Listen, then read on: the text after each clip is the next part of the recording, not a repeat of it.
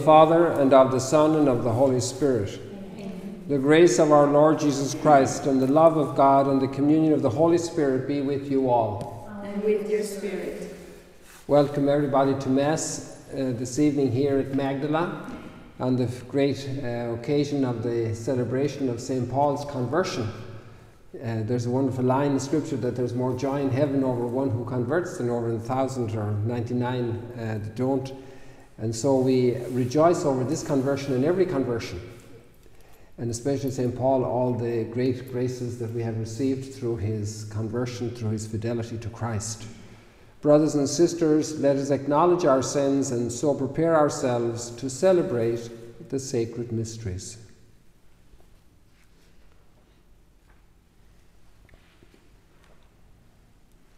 You were sent to heal the contrite of heart. Lord, have mercy. Lord, have mercy. You came to call sinners. Christ, have mercy. Christ, have mercy. You are seated at the right hand of the Father to intercede for us. Lord, have mercy. Lord, have mercy. May Almighty God have mercy on us, forgive us our sins, and bring us to everlasting life. Amen. Glory to God in the highest, and on earth peace to people of good will. We praise you, we bless you, we adore you, we glorify you. We give you thanks for your great glory. Lord God, heavenly King, O God, Almighty Father, Lord Jesus Christ, only begotten Son, Lord God, Lamb of God, Son of the Father, you take away the sins of the world, have mercy on us. You take away the sins of the world, receive our prayers. You are Seated at the right hand of the Father, have mercy on us. For you alone are the Holy One, you alone are the Lord, you alone are the Most High, Jesus Christ, with the Holy Spirit, in the glory of God the Father. Amen. Let us pray.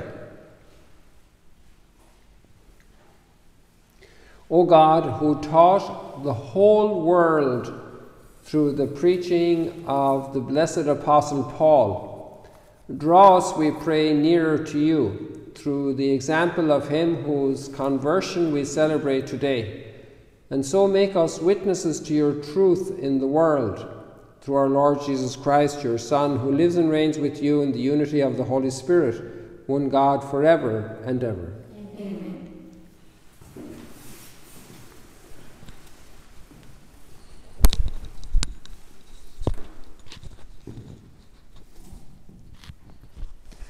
A reading from the Acts of the Apostles. Paul addresses the people in these, in, the, in these crowds, in these words I am a Jew, born in Tarsus in, Sicily, in Cilicia, but brought up in this city. At the feet of Gamaliel, I was educated strictly on our ancestral law and was zealous for God, just as all of you are today. I persecuted this way to death binding both men and women and delivering them to prison. Even the high priests and the whole council of elders can testify on my behalf. For from them I even received letters to the brothers and set out for Damascus to bring them back to Jerusalem in chains for punishments for those for those there as well. On that journey as I drew near to Damascus, about noon, a great light from the sky suddenly shone around me. I fell to the ground and heard a voice saying to me, Saul, Saul, why are you persecuting me? I replied, Who are you, sir? And he said to me, I am Jesus, the Nazarene whom you are persecuting. My companions saw the light, but did not hear the voice of the one who spoke to me.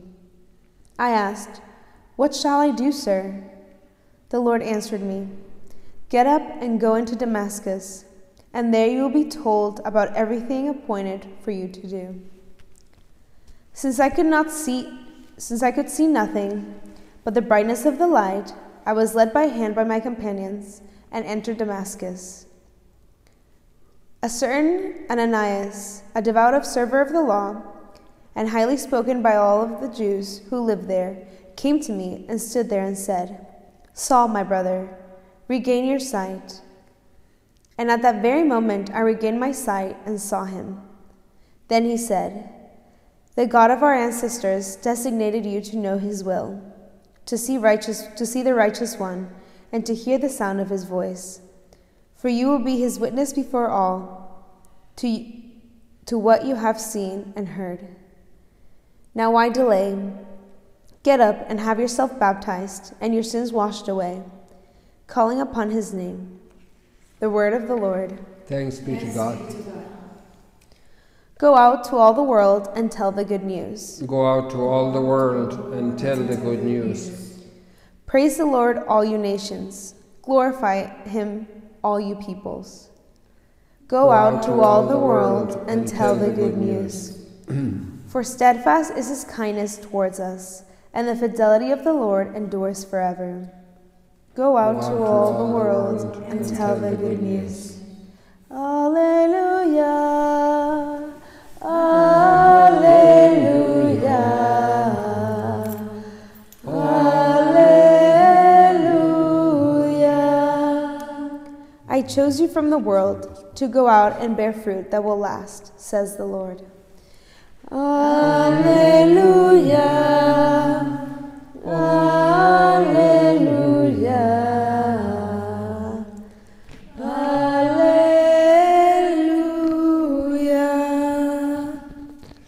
The Lord be with you. And with your spirit. A reading from the Holy Gospel according to Mark. Glory to you, O Lord. Jesus appeared to the eleven and said to them, Go into the whole world and proclaim the gospel to every creature. Whoever believes and is baptized will be saved. Whoever does not believe will be condemned. These signs will accompany those who believe. In my name they will drive out demons. They will speak new languages. They will pick up serpents with their hands. And if they drink anything, any deadly thing, it will not harm them. They will lay hands on the sick and they will recover. The Gospel of the Lord. Praise to you, Lord Jesus Christ.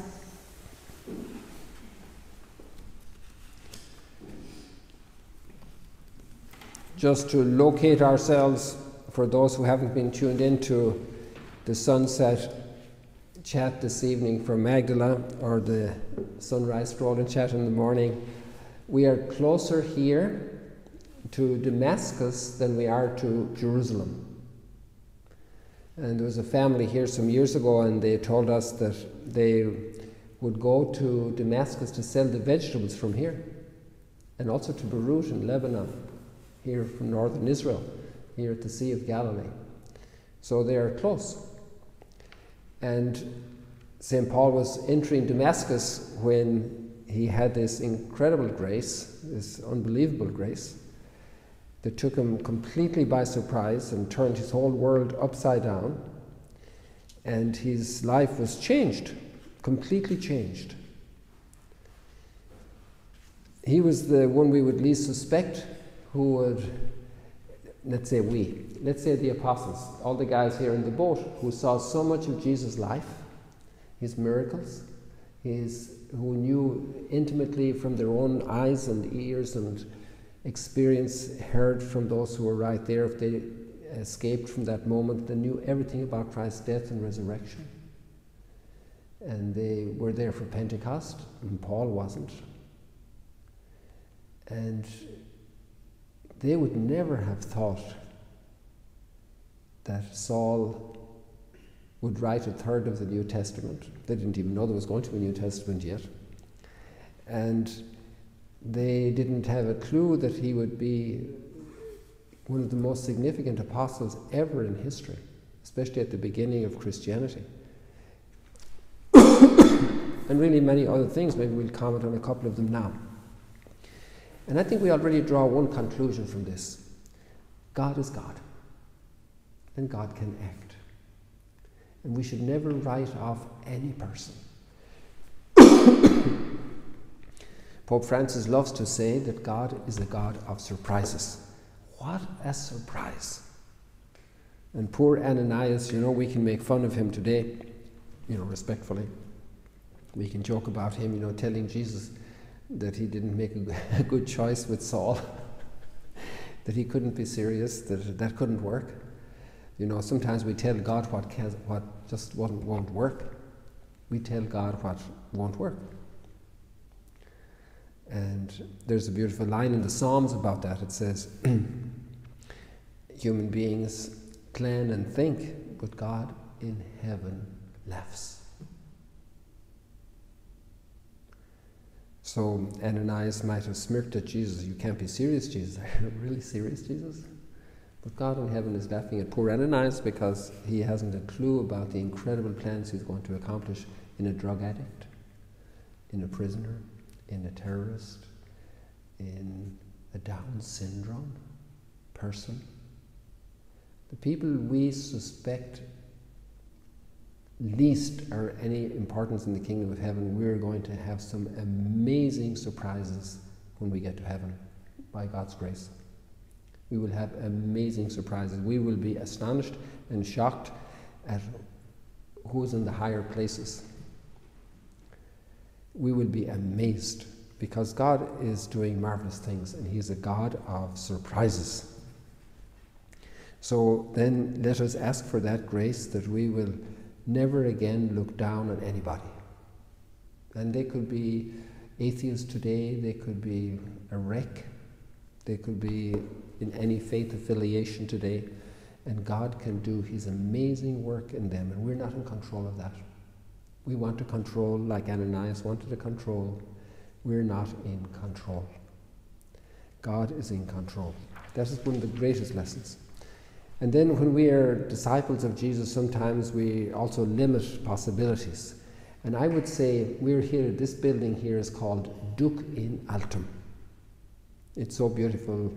Everybody who knows it loves it, even if they're not Christian, if they're not Jewish, if they're not of any religious persuasion. Everybody loves this building for many different reasons. It's a beautiful, beautiful place, but it's capturing something very powerful. And Jesus said to Peter, who was deeply discouraged, Duc in altum, go out into the deep. And I would say that St. Paul is a duc in altum person. St. Paul is not intimidated by anything. He is going out into the deep. Imagine taking up that pen, and actually he did it by dictation, so he didn't take up any pen or any tablet or any, any keyboard or any ink. Some other people wrote it. Sometimes he signed his own name in the letters. But imagine the text he has given us. Even this text, the account of his own conversion, the words he has said about Jesus to the love of Christ, uh, we do not know the depth, the width, the breadth, the height of the love of Christ. He went into that. He's not saying that just because he's doing working out some theory about Christ's love at his desk. No, he lived it. And so when he's, his letters are showing us a life. And if we read his letters a little bit, uh, we, or we take one of the letters and go deeply into it, letter to the Philippians is beautiful. The incredible intensity of passion, of love for that church in Philippi, for those people, those disciples. And he really, really loves them. Read that letter. And he was imprisoned and scourged in Philippi. you know, the first place he evangelized in Europe, he brought the gospel to Europe, the first one. Can you imagine? What he did. It's amazing. So he went into the deep in the apostolate. He went into the forum in Athens, uh, the agora, and spoke to all the people, took them on. He went into the deep. He went into the deep in front of Herod. One of the scenes I really love is at Caesarea Philippi. And you can go there and you can more or less guess where that dungeon was. And that's where he was kept. And then he was brought into the throne room or the courtroom because Herod Agrippa came with, was it Festus, the Roman governor? And this, like read three or four chapters. If you want to pulse Paul's um, passion and his life and his fire, I would suggest you read chapters 20s of the Acts of the Apostles. I'm not sure exactly where it starts right now, but maybe 20, 21, 22, 23, 24, three or four chapters. Take 10 minutes to read them. Read it, ponder it, and think about the guy that's living this moment and how he was going to be pulled to pieces in a battle, in a, in a, in a, a fight, uh, theological uh, fight uh, in Jerusalem, and how the governor took him out, and then he brought him to Caesarea, and now he's going to Rome. But he's two years in Caesarea, and at some point then Herod comes along, Herod Agrippa and Bernice, and we have this little uh, hill here behind Tiberias, Berenice, Bernice, and so Paul is in audience before them. They call him in to cross-examine him and question him, and he's talking so intensely about the faith of his people waiting for the Messiah and how that is Jesus that Herod says to him, Stop talking. If you talk anymore, I will have to join you and become a follower of this Jesus. Herod said this to him. The impact he made was so powerful on everybody. Sometimes he was rejected. That was a very powerful impact. They stoned him, leaving him dead. That's what they thought. But he wasn't dead yet, but they figured it wouldn't take long until he died. They left. He gets up, shakes off the dust, and walks away to another town to preach the gospel again. So when he says, We do not know the depth and the width and the breadth and the strength and the height of the love of Christ, it's because he experienced it. He had some amazing experiences, also of his own misery, this thorn in my flesh. And I asked God, Take it away from me. And he said, My grace is sufficient. My grace is enough for you. So, right now, stop for a second and think which horrible problem do you have? With your spouse, with a child, with a parent, with a friend, at work, with a manager, uh, with finances, with health. What problem do you have? Temptations, boredom, frustration, pessimism, half kind of depression, whatever the problem is, the political situation, the church situation, whatever thorn is in your side, turn to God and pray now. And then tell God that His grace is not enough for you. You know?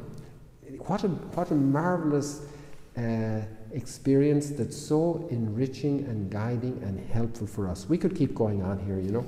Jesus said, Go out and tell the whole world the good news. Go out to the whole world and tell the good news. What's more to say when we see what St. Paul did?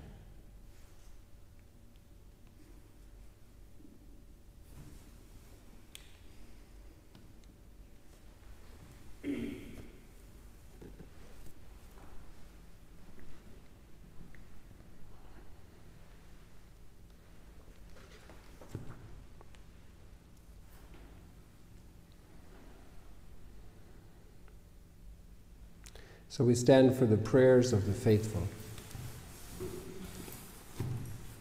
Dear sisters and brothers, we honor the great Apostle Paul who took the gospel of Christ to the nations and offered his life as a sacrifice of love. We pray for Pope Francis and all the bishops that we continue to be blessed by God serving Christ and his body, the church. Lord, hear us. Lord, graciously hear us. We pray that all missionaries like St. Paul take the message of Christ to those who have never heard his name, may be urged on by the charity of Christ and deeply united with him to throw out their nets. Lord, hear us. Lord, graciously hear us. We pray for all those who still today reject, persecute, or ridicule Christians. May come to a greater respect for the basic human right of freedom of religion. Lord, hear us. Lord, graciously hear us. Pray for all the Christians who are persecuted, who are in deep trouble and suffering, who are under great threat. We pray that they will be strong, that they will look to Christ, that they will enter into the love of Christ and commit, continue to commit and grow in their commitment. Lord, hear us. Lord, graciously hear us. And now we pray for all the intentions each of us have in our hearts.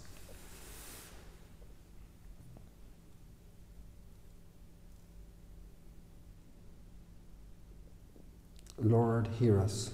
Lord, graciously hear us. We pray for all those who have the name of Paul, St. Paul, all the church communities dedicated to St. Paul, all the women called Pauline, Paula, Paula,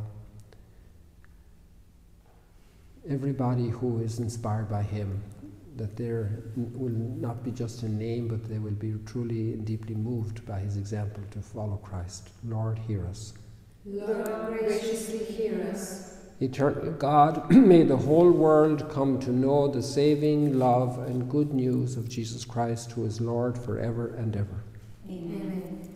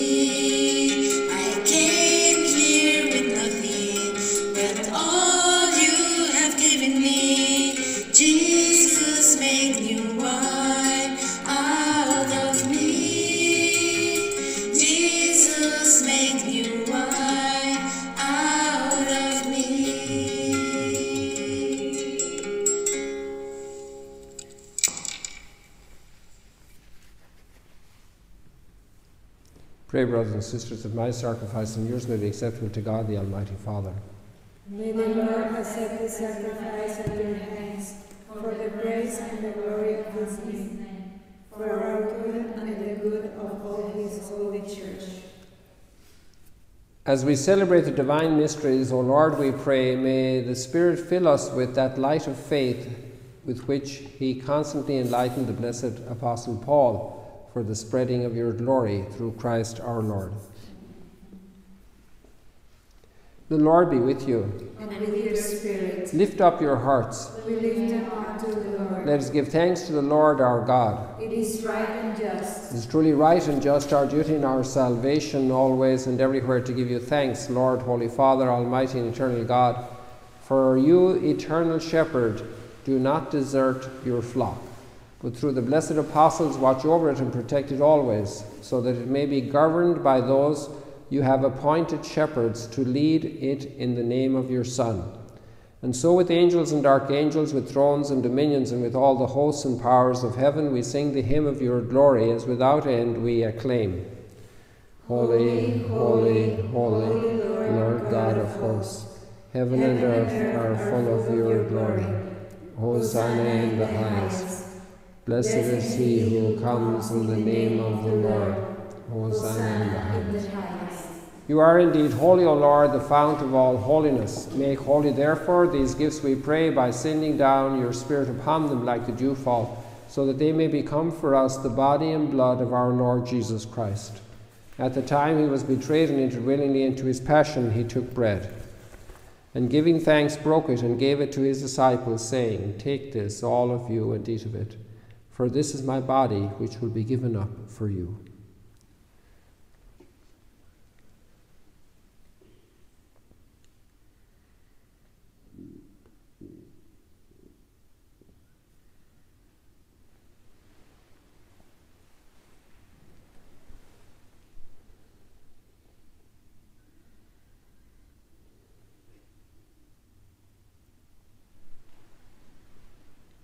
In a similar way, when supper was ended, he took the chalice and once more giving thanks, he gave it to his disciples, saying, Take this, all of you, and drink from it, for this is the chalice of my blood, the blood of the new and eternal covenant, which will be poured out for you and for many for the forgiveness of sins. Do this in memory of me.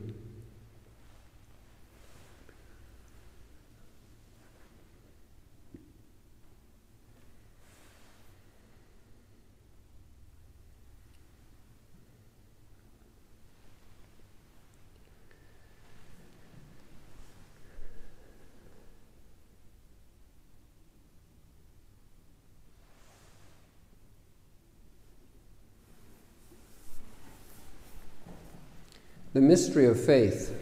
We proclaim your death, O Lord, and profess your resurrection until you come again. Therefore, as we celebrate the memorial of his death and resurrection, we offer you, Lord, the bread of life and the chalice of salvation, giving thanks that you have held us worthy to be in your presence and minister to you.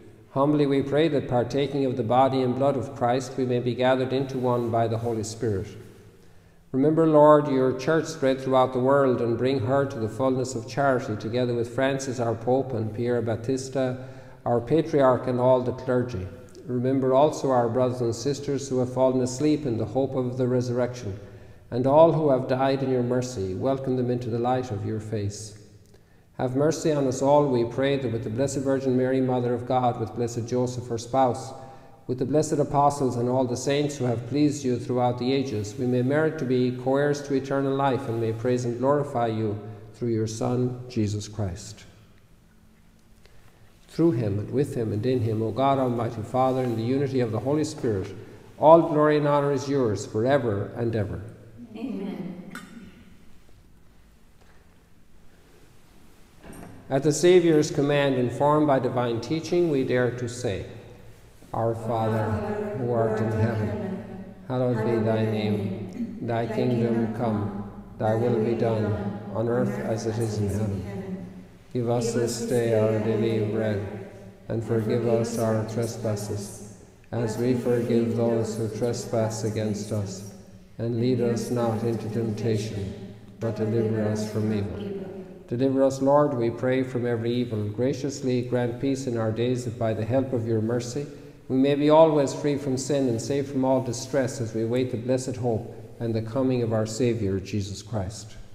For the kingdom, the power, and the glory are yours now and forever. Lord Jesus Christ, who said to your apostles, Peace I leave you, my peace I give you, look not on our sins, but on the faith of your church, and graciously grant her peace and unity in accordance with your will, who live and reign forever and ever. Amen. The peace of the Lord be with you always. And with your spirit. Let us offer each other the sign of peace. Lamb of God, You take away the sins of the world. Have mercy on us. Lamb of God, you take away the sins of the world. Have mercy on us. Lamb of God, you take away the sins of the world. Grant us peace. Behold the Lamb of God, behold him who takes away the sins of the world. Blessed are those who are called to the supper of the Lamb. Lord, I am not worthy that you should enter under my roof, but only say the word, and my soul shall be healed. healed. Body of Christ, keep me safe for eternal life.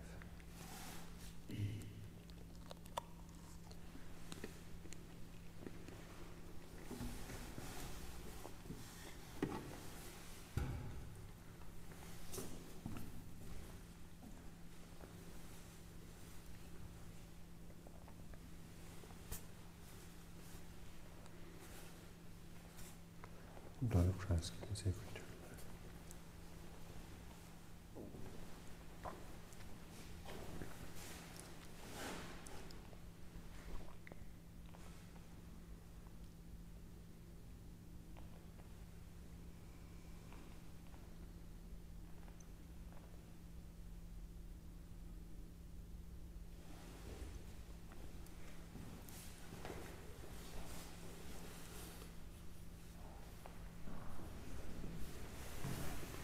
In the body of Christ. The body of Christ. The body of Christ.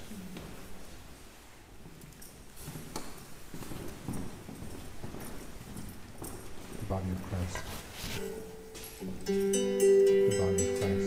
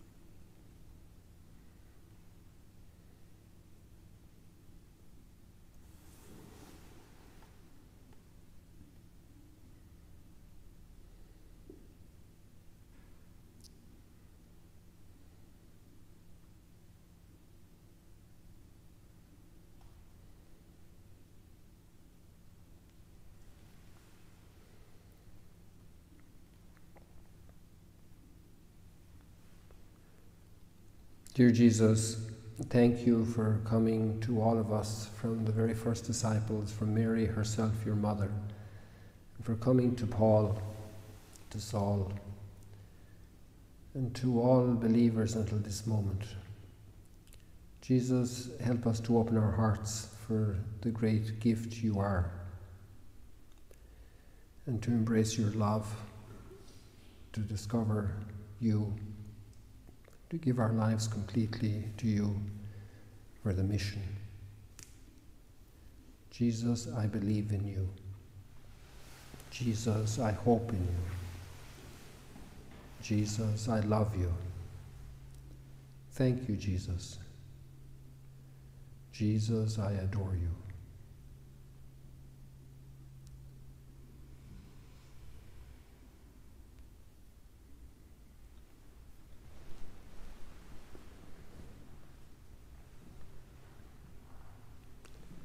Let us pray.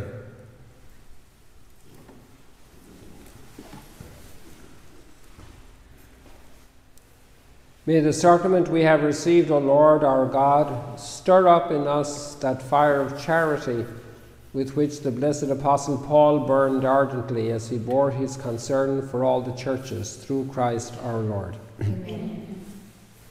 The Lord be with you. And with your spirit. May Almighty God bless you, the Father, and the Son, and the Holy Spirit. Amen. Go and proclaim the gospel of the Lord. Thanks be to God.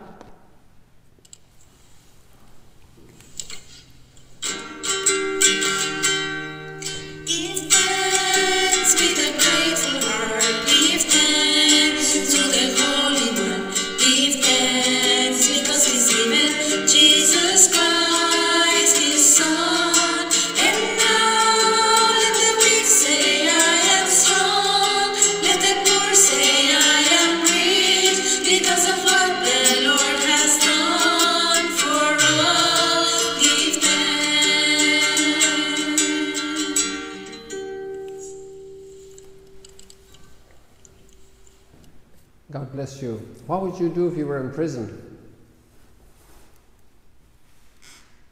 What would you do if you were in prison? Be discouraged, embarrassed, humiliated? St. Paul wrote a lot of letters from prison. And he did so much good. He received many visitors when he was there. He preached Jesus there. Amazing that first night in Europe, in the prison in Philippi, completely scourged, all wounds, the earthquake, the prison burst open, the prison guard was going to kill himself. St. Paul said, No, we're here, we're not running anywhere. and then the guard took them to their home, to his home, and Paul explained the gospel, and he was baptized. That was the beginning of evangelization in Europe. You know, what would you do if you were in prison? God bless you, see you later.